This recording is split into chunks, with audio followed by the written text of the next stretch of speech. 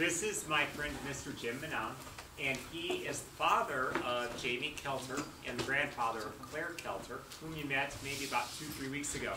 Um, he's an engineer and he's done a few other things, but he is just one of those people that you read about in The Millionaire Next Door who basically did everything right. Uh, just an ordinary person with an ordinary salary who has made piles and piles of money through saving, investing, having a loving family. And so all of these questions about those type of things are fair game. He can help you save money and stack it up right now. And uh, he has good career advice, good family advice, good Catholic advice, good marriage advice, good investment advice. He's just one of those people who is interested in money and just did a lot of really intriguing A plus things with it. So, Thank you. Tim. Um, Yeah, I'm nobody special, I'm just a retired engineer, as Tim said. I've just been very, very fortunate. Uh, I guess when I was born, I was just hardwired to be very conservative fiscally. And I think that, that serves everyone really well if if you can kind of adhere to some of those principles. Um, I retired two years ago. Start with the first slide. Um, I'm in a position where I have, I mean, I'm not super wealthy, but I have plenty of money to do whatever I want. I can come here today, um, tomorrow I'll be painting my basement, um, day after that I'll be playing golf. Um, Went on a Rhine River cruise from, uh, Switzerland to, the Netherlands, uh, this year. Also went through, the on a cruise through the Panama Canal. So it's nice to be in a position where you can do whatever you want to do and not be, feel constrained. And, and as, as I said, uh, a lot of it had to do with luck. I married a great, great, great wife, Kathy. Um, And, uh, maybe, maybe God's had a hand in it too, because I don't know what I did deserve, but I've just been very, very fortunate. I have two great kids. I got a great, may saw her, a little little granddaughter Claire, who's a lot of fun. Own my own home, I don't have any debt, don't owe any money to anybody, and net worth wise, I mean, I'll have more money than I'll, I'll need to spend, so I just feel very, very fortunate. Um, I met Tim through, I guess, my daughter and son-in-law, and I think Tim and I share kind of an opinion, that's probably why you have this personal finance class, which I think is great, by the way, because I think kids don't get, I didn't get anything, any information about personal finance in high school. I think kids can really benefit if, if they just listen and learn a little bit about money, so they don't make big mistakes. Um, Money can really help you, or it can really hurt you, it kinda, it's one or the other. And, uh, you're, you're, we all battle the best marketing, advertising people in the world. Every day, there's people trying to figure out how to separate you from your dollar, every day. I mean, to great detail, advertising, you know, these iPhones and smartphones to the point of targeting advertising. You walk in the Kohl's store, you walk out, you'll be getting a page or text pretty soon that says twenty percent off at Kohl's because you didn't buy anything, they want you to come back in. I mean, that's how precise some of this advertising will be. And so, so I think it's only appropriate that you have some sense and some, some thought behind where you wanna spend your money and how you wanna spend your money, because there's a lot of people trying to grab it from. Next slide, I guess I went a little too far here. I, I'm just here to kind of share my personal experiences with, with, with money and personal finance, because it worked out really well with me. And, and, and I really believe in my heart, it's, it's a conscious decision whether you want to manage your money or you want your finances to manage your life. And, and believe me, the, the, the former is much, much better than, better than the, uh, than, better than the latter. I, I don't argue that money buys happiness. All the studies say it doesn't. Um, um, So I'm not saying you need to be rich or save money for the sake of being rich. But I will argue that money in your, money in your pocket can give you choices in your life. And those choices can have a profound effect on your life and the life of everyone you care about. So, so money in itself doesn't make you happy, but it, it can make things happen for you that, may not have, have otherwise. Um, All right, let's, uh, let's move on. Who wants to be rich? I do. Who wants to be rich? Nothing wrong with being rich. In fact, I'm not, I'm not, I don't have a Catholic high school education, so I don't, I'm not a biblical scholar, but there is a parable about the talents, right? You heard the parable about the talents and, and, uh, so I take that to mean it's okay to, to do well for yourself. There's, nothing wrong with it. So who wants to be rich? I want to be rich. Um, why do you want to be rich? Why? Financial security. Security? I, I like that answer. What else? They should probably go first, sorry. Anybody else? Um, Okay, I'll go. Um, if I don't have to worry about my own financial situation, then I can spend more time thinking about good things to do for family and friends. You know, it's just like when you're sick. If you've got the flu, it's hard to think about anybody else. So if you're broke, it's hard to think about anybody else. yeah, to me, it's so you can do anything you want to do. You're not at the beck and call of, of a job or, or other, other constraints. Let's move on. Um, Yeah, one more slide. Um, There's different definitions. Google says being rich is having a great deal of money or assets or wealth. Uh, I mean, I think, I think it's really a subjective thing, definition, right? What rich means, everyone probably has their own, own perspective. Um, But for me, I think the next slide, it really is so, and we already touched on, is being independent, doing what I wanna do. In- two weeks, a buddy of mine called, he's got, a- he's doing a favor for his accountant in St. Louis, he has a business in St. Louis, and he loves his accountant, and she has him to take a car down to Naples, Florida. And so his name is also named Jim, he said, called me, he said, Jim, you wanna go with me? I go, yeah, I'll go with you, so I'll drive over to St. Louis, we'll drive twenty-two hours from St. Louis to Naples, Florida, just to drop off a car. For what? Well, he's a, he's a really good friend of mine. I have the time, so why not? You know, so, so being independent, doing what you want to do, it's, it's a great feeling. Because for thirty-six years, plus four years of college, I was working pretty damn hard. And, and it's nice to just relax and, and not, not, not to worry about it. Um, not serving money as my master and no longer beholden my job. I don't have to worry about uh, that next phone call. Uh, I, I worked for AT&T for thirty-six years, originally Southwestern Bell, then SBC, then AT&T. And I finished in special services and, and boy, that, that, that phone call comes, there could be all kinds of things wrong. I mean, things go wrong in a hurry and, uh, you're up all night with service outages and stuff. I'm, I'm glad I'm done with that. So not being beholden my job is wonderful. Uh, next slide. Um, Again, each and every one of you can be just like me. Don't be like me personally, but be like me financially. In that, in that you can be independent through, through just common sense and a series of decisions you're gonna make through your life. And why not? Who, who wants to live paycheck to paycheck? And a lot of people do, by the way. A lot of people do. Um, Or be, be in constant fear. I'll give you some examples. Um, Next Next slide. slide, yeah. Okay. Um, these are people I've known in my life. Um, uh, Donna, there's a manager that reported to me in Dallas, Texas. Um, her husband worked for SBC. She was on the evening news in Dallas, Texas, as a third generation telephone employee. And somehow she ended up working for me, and I noticed some irregularities on her, on a corporate credit card. And she tried to explain that her number got out someone stole them, it kept happening. And it turned out she was using her corporate card to buffer her cash flow. She didn't have enough money to pay her bills that month, she would use her corporate credit card, which is a big no-no. And I had to fire her, because you just can't tolerate people, people doing that, not in a large organization. Um, So she was just living on the edge, and if she didn't have enough money to cover her bills, she used her company, company credit card to cover, cover her cash flow for that month, and you, can't do it. And so I had to fire this gal, you got kids, and who wants to live that way?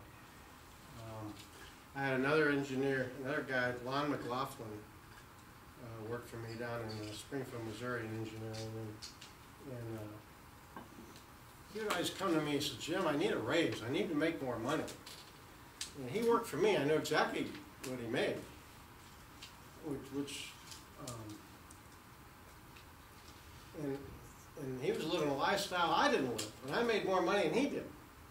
And so I'd say, now you talk about three horses, do those cost money? Oh, yeah, but those are my wife, my wife, we gotta have the horses, blah, blah, blah. Said, you belong to this country club, don't you? Yeah, yeah. You have cable TV? Yeah, I said, well, I don't have a cable TV, I don't have cable TV, I don't have a membership to a golf country club, and I don't have three horses to take care of. I said, get rid of those things. I said, Lon, money, your salary is not your problem, it's, it's the spending side. And that could never, never register with him. And so he, he's living, living on the edge like, like, uh, the gal down, down, down in Dallas. Uh, this guy, Bernard, he was an external affairs manager in, in Eldon, Missouri. Um, and those guys used to be a liaison between the company and the public. And a lot of what they did was give away money, company money to good things and, and communities to keep goodwill between the company and, and our uh, uh, customers and communities.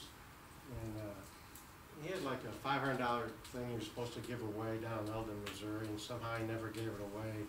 And he moved it between three personal banking accounts, and there was this one old lady in this, in this club that she's supposed to get the money, and she kept asking about it, kept asking about it. Finally, she raised enough cane, and all came out, he kept the money, so they had to fire him, you know, five hundred dollars, a career, good salary, good benefits, threw it away over five hundred dollars, nuts.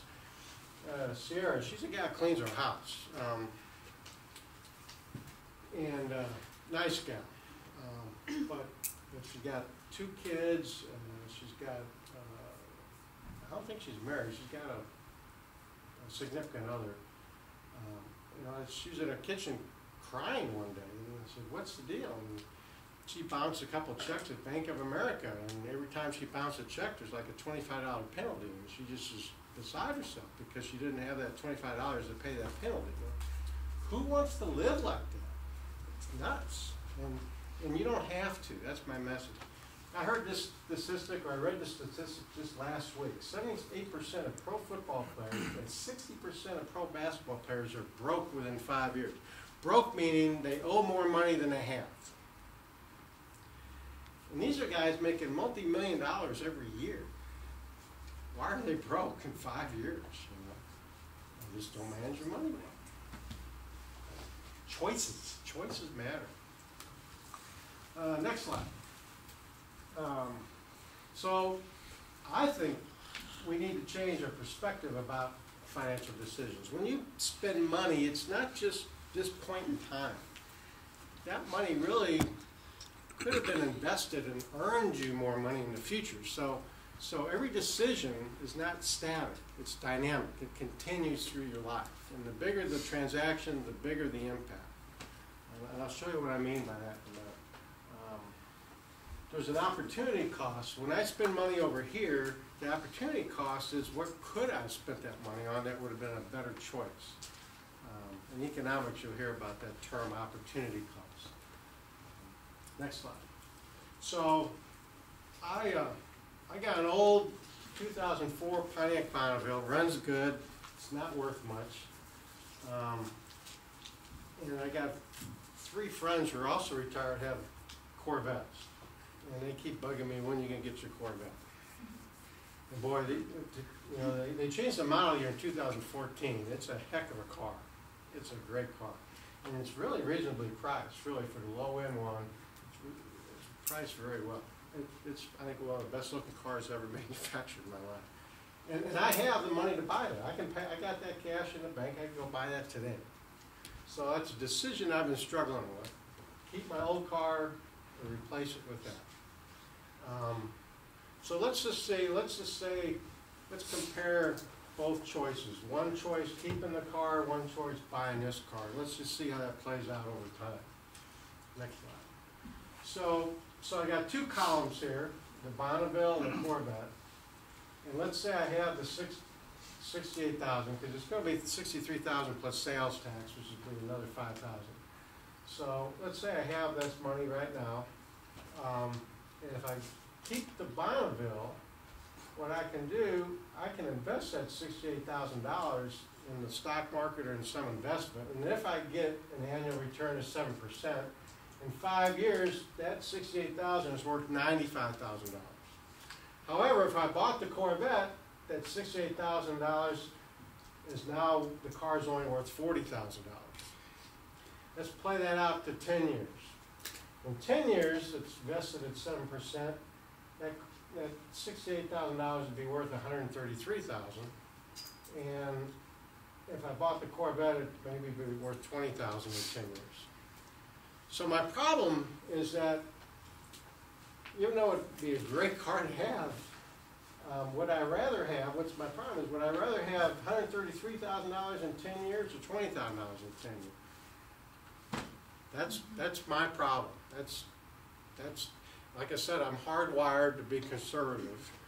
And, and actually, I'd rather have the hundred thirty-three thousand dollars in, in ten years, you know, um, than, than drive a, drive a really fancy, cool car. That's just me. Um, some people buy cars all the time, um, but this is just a real-life example. It's, it's a, it's a dramatic one, I give you that. But, but when I say that financial decision impacts you over time, this is a big, that's a house, that's a small house, a really little house, you know? Um, or twenty thousand dollars, I mean, so, so I didn't buy the Corvette. I didn't buy the Corvette. Um, Next slide.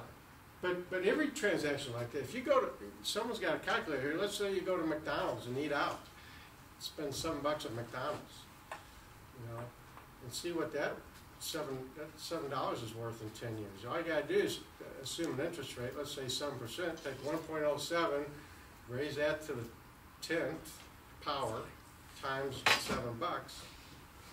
It's probably about a, you know, thirty dollar sandwich. I mean, that's, I mean, that's not the scale of a Corvette, but when I say every financial decision is life lasting, that's what I'm talking about. Here's another example. When, uh, when I worked for AT&T, right? So when iPhones came out, I didn't get one. And the reason I didn't get one is because I knew my wife would want one, and both my kids. I had two teenage kids in high school or college. I think iPhones came out in 2007. Uh, so if I got one for myself, I'd really have to get four. And at, at first, they're pretty expensive too. Um, and so over over five years, I didn't have them. I didn't have one for me, my wife, or my kids, and I got beat up all the time from my family because all my kids' friends had them. All my wife's friends were trading pictures and stuff. But a couple years ago, right before Jamie got married, we went on a cruise, a Mediterranean cruise. Kind of a once in a lifetime trip, right? We went to Rome for three days and then cruised the Mediterranean, stopped at all these ports of call. That's the uh, La Sagrada Familia in Barcelona, unbelievable church. Went to mass there one night. Um, that's my family. I think that might be in Marseille, Marseille, uh, France. This is in Rome. Um, and that trip cost about fourteen thousand dollars for my family. So not having, the way I look at it, not having these iPhones for five years, it paid for this trip. Now, if you ask my kids if they remember not sending that text or that picture they could have five years ago, or do they remember going to the Colosseum, or do they remember going uh, to St. Peter's Basilica, they'll remember those things. Okay. So it's choices. That's my point. Everything you do is a choice, and you can choose whichever way to, manage your money or spend your money. But that's a, I think that's a great uh, illustration of, because I think it's kind of, even though I'm glad people buy smartphones and use them, because I, I like my AT&T benefits as a retiree. I just didn't think value-wise it was good for, good for my family. Uh, So I put it off as long as I could. Finally, I put it off long enough, my kids got to Rome, paid for it themselves, yay, I don't have to pay for it. And, uh, but I finally had to get one for my wife, so. Okay, next slide. Okay, so, so, what, this concept called the other side, to me, it's always better to have people pay you than you pay them. I mean, it's a simple concept, right? But entrepreneurs and people in business, they found ways for people to pay them. But you can find little ways in your own, in your own life. Um, uh, you know, I purchased my first house in nineteen eighty-one. After I graduated college, I lived at home for two years, saved every nickel. That was a down payment on my house. Then I had two guys from college live with me. They paid me rent. They paid, essentially paid my house payment. Um, They're paying me to use my house. It was great because I liked them. We had fun, right, before I was married. Um, I have a great credit score. Um, so people who screw up their credit, they pay a lot higher interest, or interest rates on their cards, which allows me to indirectly take advantage of the perks credit cards give me. I use credit cards, but I pay the bill, never, never finance them uh, a dollar in my life with a credit card, but I take advantage of the the perks because of that. Um, People with lousy credit pay more for insurance. I pay less for insurance because my credit's good. Um, um, And then, and then I own a lot of stocks. Um, So, so, and a lot of weird stocks, but, uh, so when people use ATM machines in, in Europe, on a, on a network called uh, Euronet Worldwide, um, that helps my stock, pays me money. Um, When people use smartphones for AT&T, or AT&T product or services, great, they're paying me benefits. Um, People buy ConocoPhillips gasoline, great, I get a dividend. I get a dividend here too, at AT&T. Um, Procter Gamble products, I get a dividend. People are paying me when they use those products. So, so this whole idea of, in fact, we're talking to Peyton, is that right? Earlier, before the, the session started, she's come up with an idea, entrepreneur idea. Those are great things to do. Um, My roommate in college, he started a sound business. Uh, They did, uh, built his own amplifiers and speakers right in the dorm room, and they did, you know, this is before CDs, they had big LP records, they did sound uh, for all the fraternity parties out of Columbia. Um, I never got paid, but I got to go to a lot of parties. Um, That was just in college he's doing that, just, just for fun and actually making some money, so. Getting on the other side, have people pay you as, you, as opposed to you pay them, always a, well, it sounds simple, but this can work out pretty well if the idea holds up. Let's go to the next slide. Um, So this guy here, Mike, Mike was my roommate in college. Um, he started a business actually in Budapest, Hungary. And that business has grown and grown and grown and grown. So this is all of us going out to Las Vegas on his jet. Um, That's kind of an extreme side. His business uh, probably do about three billion in revenue this year. Um, Believe it or not, he, this is his second business. His first business, he and Mark, Mark Calgary, um, they started a software business and they sold that in four months. And so he had all this money, all this time. He's in Budapest traveling. He sees all his people in line at the bank with paper bags of money. Now, this is right after the Berlin Wall came down. Okay, you're talking about the Cold War. Right when the Berlin Wall came down, Eastern Europe was a cash-only society. No written checks, no debit cards, no credit cards. When I say cash, cash. You go to work, you get paid in cash. Go to the bank, you put your cash in the bank. You go pay your bills, you go to the bank, get the cash out, go pay your bills. And it, it, the banks were state-owned, so they're very efficient and very slow. So you stood in line at the bank, and you thought, there's gotta be a better way. And so he, and so a lot of people didn't keep their money in the bank because it was such a pain. They kept it in the house, and then people would steal the money in the house. So he got to talking to the banks. He started an ATM machine, a money, money uh, machine business um, in Budapest, and he did it all through Europe now, and he's bought several other companies. And, so that's a really good example of kind of getting on the other side. All because we talk about ideas finding you as opposed to you, you just stumble into that. You know? Uh, And Mark, he's been kind of an electronics guy. Um, You know, you see the Christmas lights at the end of Rose, he does all those. Uh, The lights on the Marriott downtown, he did those, he had a lighting business. If go to Berlin, he did lights at the soccer stadium in Berlin, Germany. Um, So anyway, let's, let's on. Here's another example. I met this young lady, kind of hard to see. Her name is B, I forget her last name, last Thursday. Does anybody know, this is kind of hard to see, who that is, who this guy is? Kind of hard to see. I'll tell you his name. His name is Scott Kelly. Does that ring a bell? Scott Kelly is an astronaut, just spent a year on the International Space Station. He has a twin brother. Um, anyway, he came to Kansas City and spoke last Thursday. I went to see him. And it just so happened, my, my friend Mike's daughter's in school at Mizzou, and her good sorority friend is a gal named Bee, and she loves space, right? Loves space. So she found out that Scott Kelly was gonna be at the Linda Hall Library, uh, UMKC, so she drove up from Columbia. Turns out she started a jewelry business. And she makes these uh, bracelets, and they kind of wrap, they, they can wrap and unwrap, and there's like a, a little stone for every planet of the solar system. And, uh, it takes five minutes to make one, she's selling them for thirty bucks. So she drove up to, drove up to Kansas City, she got Scott wearing one in his presentation. Um, Just, just an idea she had, starting to go on now, I guess she's doing it from the sorority house. She's, she's got a website and a whole line of jewelry, just, just, just on space stuff, because she loves space. She's a marketing major. Um, Kinda inter, kinda interesting gal. Gosh, Leonard, you could do that after school today. So Scott Kelly, interesting guy. Um, he, he said that when he was in school, he was a below average student. He didn't do well in high school at all. He grew up in New Jersey. Um, And he finally decided one day to be a, a fighter pilot, but his grades weren't good enough.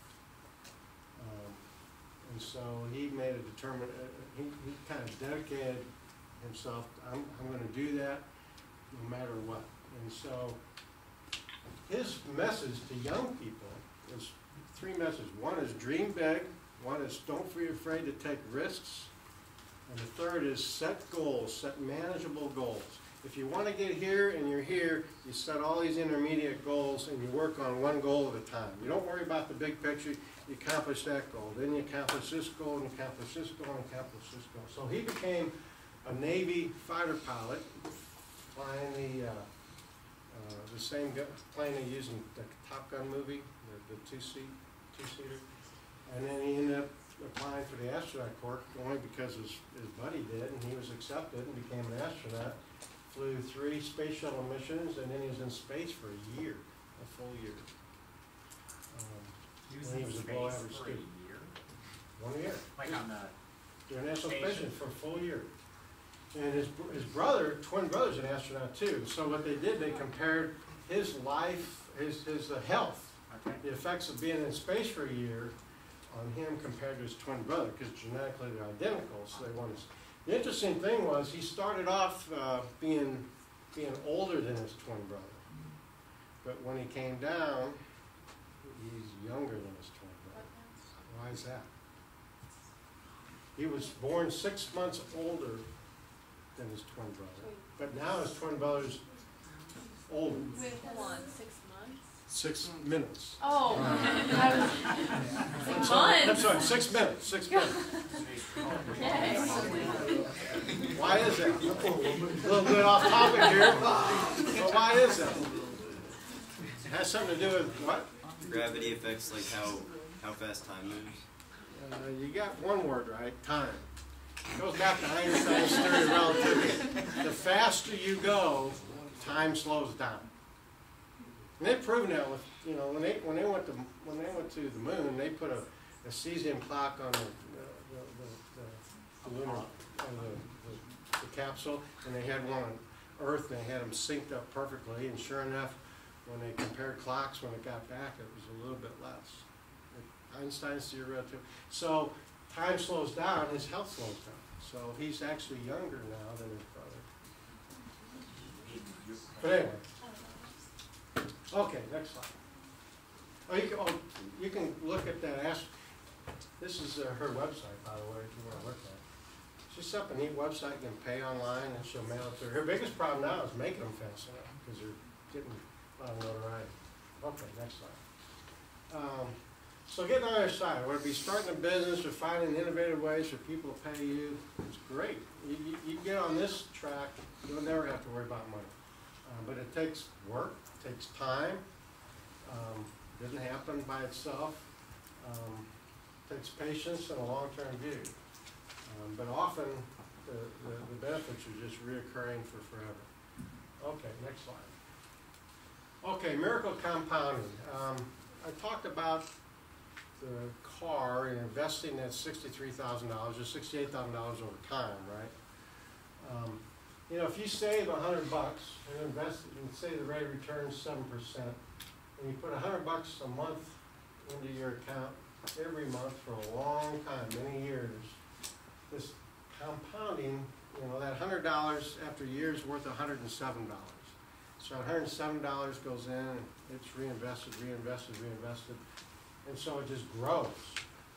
So, so over forty years, that hundred dollars a month all of a sudden becomes, um, five hundred and twelve thousand dollars. Think about that, just a hundred dollars a month over forty years becomes five hundred and twelve thousand dollars.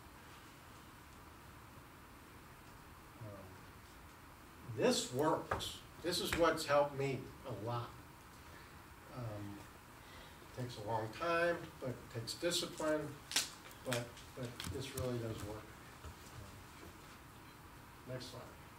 So if you look at a graphical representation of numbers, you start out very small, and it stays small for a long time, but finally it starts growing big time. And this is fun out here, this is nice, okay? But there's no shortcuts. To get to here, you gotta start, you gotta start. I knew people at Southwestern Bell that we had a four oh one K program, you put in a buck, they put in eighty cents, up to your six percent of your salary. And I knew people that said, I can't afford to put money in the four oh one K. You can't afford not to, they pay you eighty percent return immediately when it goes in. Um, You gotta start, you gotta start, you can't put it off and put it off and put it off. Now, I'm not suggesting high school students start putting money, although it'd be great if you start investing in stocks, just for an educational expense. But when you, when you get out of school and you start your life, professional lives, start saving, investing, living below your means, investing. You gotta start, you can't get to here unless you do this, there's no shortcuts. Unless you just inherit money and marry somebody really wealthy, I guess. But, but if you did it on your own, you gotta start. That's hundred dollars a month, what's four hundred dollars a month look like? Next slide. If that was meat, this is filet, okay? So now we're talking a million dollars in forty years, four hundred dollars a month. Miracle compounding, it really works. Yeah, yeah, I'm That's- assuming that's seven seven. percent. Yeah. Some years will be bigger, some years will be smaller. but That's not unreasonable over a broad period of time of forty years. What was the last one, it was only hundred dollars one? Okay. Uh, five hundred and twelve thousand, that's about there. This really works, this is, this is what's made me to where I can do whatever I want, just so I can go drive to Naples with everybody in a Volkswagen Bug. And I'm six foot two. Okay, next slide. I'm sorry, I'm getting a technical difficulty.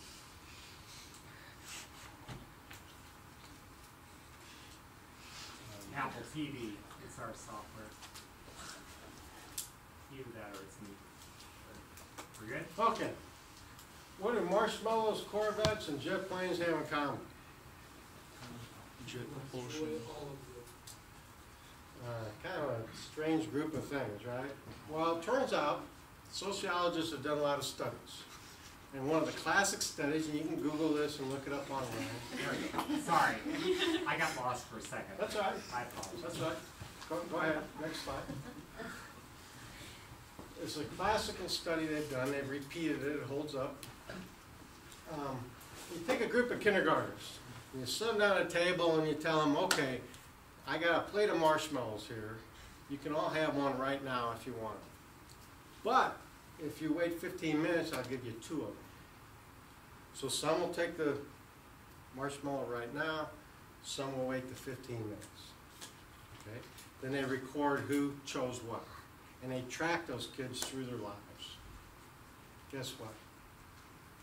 The kid that says, I'll wait the fifteen minutes for two, those kids generally do better and at higher levels of education, higher levels of professional success, and just higher levels of net worth. This is why it's called delayed gratification. That's what, that's what personal finance really is. You know, living below your means, investing the difference for tomorrow, putting it off for tomorrow, as opposed to consuming everything today. That was Donna's problem. She consumed everything today. That was Lon's problem, consumed everything today. But, but if you can live below your means and take the difference and invest it, and let that compounding, miracle compounding work for you, then you're in control of your own lives financially. You really are.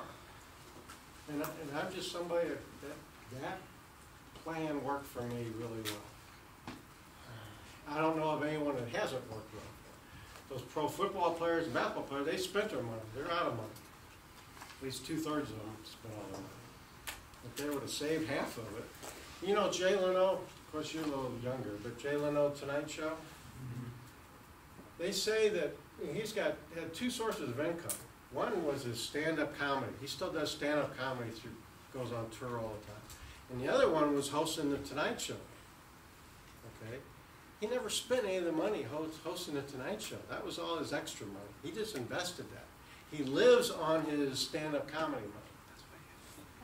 And he's worth tons of money. I mean, I mean, that's his mindset. Um, So, so delayed gratification, living below your means, investing the difference, that miracle compounding, that, that, that set me up really nice.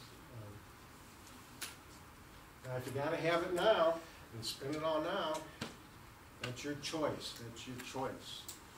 Um, But if you're able to delay that gratification, you're gonna be much better off. Next slide. Uh, Avoid financial pitfalls. When you pay someone interest, you're paying, you're making someone else rich. You're not making yourself rich. If you can't afford to buy something with cash, how can you afford to buy it with cash plus interest that you're paying somebody else? So, so, anytime you pay interest, I think that's bad. You're, you're making some other guy rich. If you can't afford it, you certainly can't afford to buy it and finance it too. One exception, a home, no one could just buy a home for cash, so, so if you ever decide to have a home, and I encourage you to do so, sure, you're gonna get a loan, you're gonna pay interest on that loan. But be smart about it, you don't, you know, a lot of people, if you look at the numbers, a fifteen-year loan, you'll pay a lot less interest than a thirty-year mortgage. Um, I've never paid credit card interest, ever. That's paying someone else money, making them rich. I've never paid interest, uh, never borrowed money to buy a car. If you can't afford that car, don't buy it. Buy, there's lots of cars, you could buy a thousand dollar car. Yeah, you're gonna have some repairs, but, but, but, but buying an expensive car right out of college, that money you don't have and financing it, not good, not good. Um, college, college costs keep going up, you probably talk about this a lot more than me. Uh, um, I'm glad my kids are out of school. Um, You may have to borrow some money to go to college, but if you do, be smart about it. You'll find financial aid offices at colleges, they want you to borrow money. Because guess what, you're gonna be paying it to the school, it helps the school. I think that's one reason college educations have gone up so high is that kids can borrow money, any amount of money they want and go to any college they want. And so colleges just keep raising their prices and they, you know, my nephew got a master's down at University of Texas at Austin and, and his name is Garrett, great kid. Gave me a tour of the campus. I saw this climbing wall in the recreation center. You know, climbing wall with harnesses and all these little stones on the wall. I said, Garrett, help me understand, how did that help you learn engineering? Aerospace engineering, that was his major. How did that climbing wall facilitate your learning experience? But that's what these school campuses do, they just keep adding more and more facilities, because kids will borrow money and pay. So when you, when you go to school, if you gotta borrow money, that's, that's all right, be smart, don't, don't borrow money for a degree plan, it's not gonna give you a job, a good job, a decent job. If you wanna study European poetry, fine, just don't borrow money to study European poetry, okay? Um, if your parents have the money, fine, if your grandparents have the money, fine, if you wanna study something frivolous. But if you don't have the money, don't borrow money to buy, for, don't borrow money to, uh, take a, take a, a major that you can't get a job from. Um, Marriage, um, that's a, if you get divorced, that's a killer financially, both sides, it's just a killer, just a killer. Um, So my only point, my only point here is, someday you'll, you may decide to get married, and if you do, you choose your spouse, that's right, you choose who you marry. You choose who you marry, it's a choice. And I'm telling you, all the sociologists say you better be on the same page when it comes to religion, money, fit- how fiscally you look at money. Um, If you're gonna have children, how you're gonna raise the children, and sex. Um, Those four things, you better be on the same page, or your marriage is gonna have a tough time for a long time. If you get divorced financially, no one comes out, except the lawyers. Lawyers do well. And realtors, realtors, forty, half of all home sales are because of divorces. Realtors come out on that too. Okay, next slide. Uh, I touched on this already, um, choosing a college and degree program. Um, The world is becoming a technical place, science and math rule. Now, I'm an engineer, so I'm biased, I admit I'm biased. But I will say, when I talked to Scott Kelly last Thursday night, he made this remark, he said, the DOD, Department of Transportation, did a study that said the two greatest threats to the United States, number one is terrorism, number two is not enough scientists and engineers. If you decide to go into a technical field, you will find a job, you really will. And it'll probably be a good paying job. No longer, in my opinion, can someone stumble out of high school with a C average, get a good union job that's gonna pay them benefits and enough to raise a family.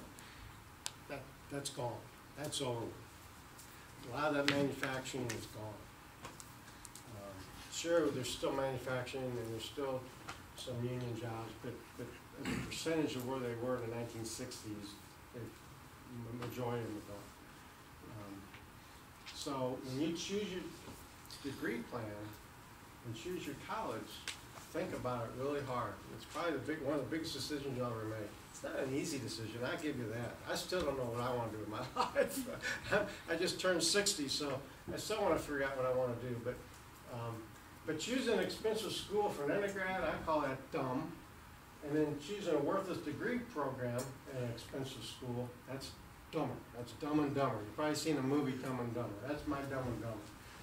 Um, When you decide what school you're gonna go to and what your major's gonna be, you need to really put a pencil to the cost and benefit. You know, there's lawyers coming out of law school now can't get work. There's more, there's not enough jobs for lawyers, and that's a three-year graduate program on top of a bachelor, bachelor degree, four-year degree. And law school's not cheap. Um, So think about this real hard. Um, There's a lot of ways to pay for school other than just borrowing tons of money. Um, You know, you probably already know this, but grants are free. Free, no strings attached, no loans, no payback, they're free. And there are a lot of grants out there. Now, you may apply to ten and you only get one or two, but that's okay. It'll be the best use of your time. You can make more money applying to grants than you can working anywhere else. Apply to fifty and get five, why not? It Takes time, but grants are free money. There's nothing wrong with working through school. My wife uh, was the oldest of eight kids. Her dad, uh, my father-in-law had cancer at an early age. She had to go her own way through school, no help at all, but she was an RA, resident assistant at the University of Missouri. Um, So she kind of worked her way through school, uh, plus summer jobs. Um, Believe it or not, people who actually work through college, have done studies, actually do better in college than people who just go to college. Doesn't make sense, does it? Because people who work and go to college, they have much less time than people who just go to school and have fun. Yes, Well, just from my point of view, having done that, but also having taught a lot at college, your emotional investment in college is a lot higher if you are paying for it yourself. If you can correlate, oh, I'm working in this math lab or writing lab, or during the summer, oh, hey, I'm doing construction, you know, I did all those things. Then your emotional investment in that class that you're taking Good is commitment. a lot higher. So, yeah, that just, that helps me make good, good grades. Nothing wrong with junior college for a couple of years, nothing wrong with living at home for a couple of years if you can't afford to be away. Last choice should be borrowing money to go to school, and if you do, it should be the minimal amount you can get away with. By the way, school loans, you can never, you can never declare bankruptcy and get rid of them, they're, tied to you forever. The way laws are today.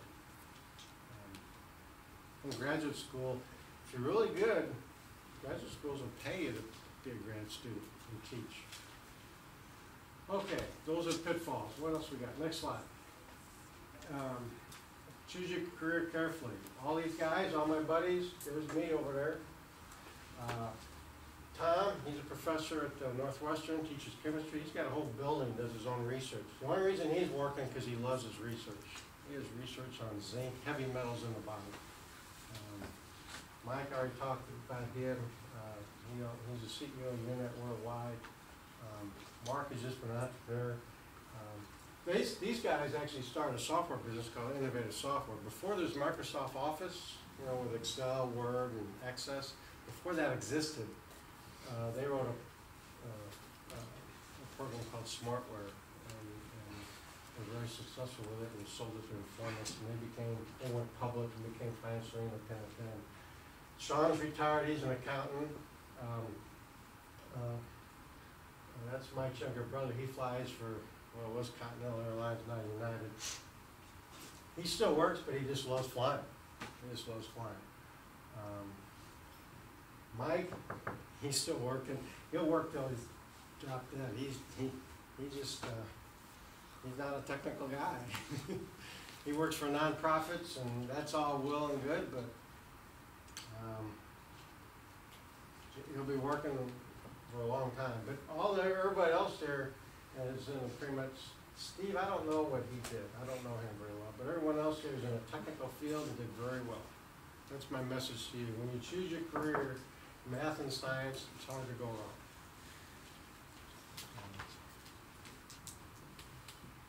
And the world's becoming more and more technical every day, every day. You're gonna see some neat things, um, in the next, next fifty years, some really cool things. Next slide. Uh, Other financial pitfalls, like I said, you know, a lot of people, they go to college, they get a job, first thing they do is buy a brand new car. I say don't do that. Buy one that's two, three years old. It's already had a lot of depreciation out of it. Um, You know, um, relying on two salaries, if you get married and have a family, relying on two salaries. If you decide you need a lifestyle that takes two salaries, it's gonna be hard. It's gonna be hard if one loses their job or something goes wrong. Something's gonna, you know, some bills aren't gonna get paid. Um, Although it's pretty common now to have two incomes in a family. Um, Living at or beyond your means, well, I talked a little bit about that. Um, I'm saying live below your means, invest the difference, let that miracle compounding work. If you're below your means, um, when something goes wrong, you can deal with it. One problem doesn't cause other problems. Um, If you, if you don't live below your means, you can't invest and save, you can't take advantage of that miracle compounding. Um, Also, if you're at your means, there's no room for tithing or charitable contributions. Now, I, I don't like spending money, I really don't like giving money away. Um, We moved here, Kansas City from Springfield, Missouri, I got transferred, started in St. Louis, went to Springfield, came here, joined St. Teresa's Parish. And about the first, I grew up Lutheran, by the way, my wife's Catholic, I grew up as a Lutheran. Um, And one of the first masses we went to St. Teresa, a parishioner gave a talk on giving, you know, and he was in his own realtor business and, was very kind of inspirational and, and he said there were times they didn't think they could afford to give, but they did anyway, and it really worked out for them. For me, it's really crazy.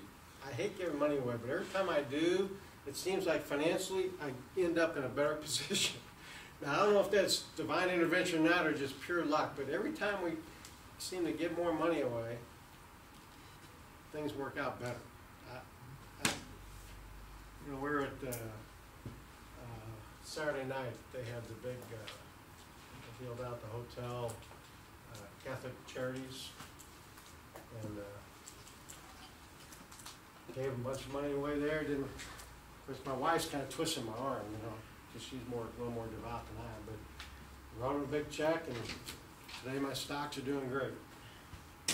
In the market, so it's hard to explain, but if, if you don't live below your means, you can't do tithing and charitable contribution, and as a Christian, I think that's a, that's a strong, strong tenet in your life, right? Um, If you live it above your means, you can't, you- sometimes you have to rely on consumer debt, credit cards to pay your bills, and they're charging 12, 18 percent interest. They're, right now, when interest rates in a bank are less than a percent, that's like, that's like armed robbery. And, but there's people that do that, and then in the worst case, if you just wanna shoot yourself in the head, all these payday loans you see everywhere, that's where people go and get an advance on their paycheck, they're charging them, you know, forty percent interest, forty, fifty, sixty percent interest. They're just, and those are people can least afford it. So, so if you're living right at, right your means, when things go wrong, and you get forced into this stuff, that hurts you even more, so. Okay, next slide. So these are my keys to being rich. Recognizing every financial decision lasts a lifetime. Remember my car example, you know, I'd rather have the hundred and ten thousand dollars uh, ten years from now than the sixty-eight thousand dollars. Um, Miracle of compounding, I can attest that works. Um, Trying to get on their side, find innovative ways that people pay you instead of you paying them. Choose your career and education very carefully. Marriage is for life. Um, This whole delayed gratification thing, this is the key, about living below your means, saving for tomorrow. If you can do that, big, big difference in your life, and avoiding other pitfalls. I think that's the last slide? So anyway, that's just by my experience. Wait, is this, Oh. Okay. All right, yeah, okay, so, so you can choose to manage your finances, or your finances will probably manage you. It's kinda, kinda that way. We're- You wanna be in the driver's seat, or you want, you wanna be like, like clean lady Sierra and, and have to, I got a sister-in-law just like that, where everything manages her. Um, If you, if you follow some of this advice, you can be in the position I am when you're fifty-eight years old. When I originally wrote this slide, it was two years ago, I'm sixty now. I- I can wake up every day and do what I want.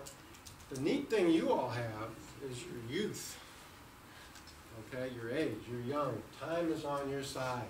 That miracle compounding, you can get that started whenever you, whenever you can. Um, Time is on your side. When someone's fifty years old and decide, well, I'd like to retire, and they're stuck, they can't, they, they lost thirty years. You can't make that up. You need that, need those early years to, to, to get to the meat, to the fillet. Um, um, Appreciate what you have. Um, a lot of people have a lot less. And then the last thing, this is what my dad used to say, money's something really good to have when you really need it. I think that's it. Hopefully that's the last slide. It's should we do a stretch break and then Q and A? Hey, why don't you guys, uh, do a little stretch break and then let's, uh, do a Q and A. I asked you guys last week to write down items from your own budget and maybe Mr. Menown can make suggestions for either cheaper or more fun.